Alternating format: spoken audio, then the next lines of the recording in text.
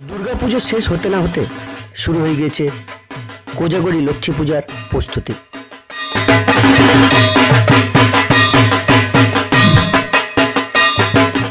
প্রতি বছরের মতো এবছর লক্ষ্মী পূজার চমক দিতে হাজির হয়েছে মথুরাপুরের সাদিয়ালের গ্রামবাসীরা।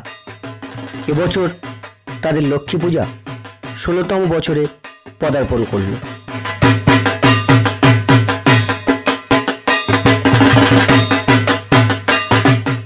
বাহুবলীর মাহিষ্মতির আদলে গড়ে উঠেছে সম্পূর্ণ পূজা মণ্ডপটি এবং লক্ষ্মী প্রতিমাটি গড়ে তোলা হয়েছে সামুদ্রিক ঝিনুক দিয়ে।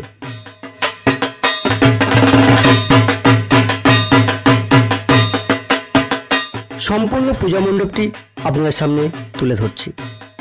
দেখতে থাকুন অপরূপভাবে সাজানো মণ্ডপসজ্জা এবং দর্শন করুন লক্ষ্মী প্রতিমার অসাধারণ একটি কারুকার্য সম্পূর্ণ নিদর্শন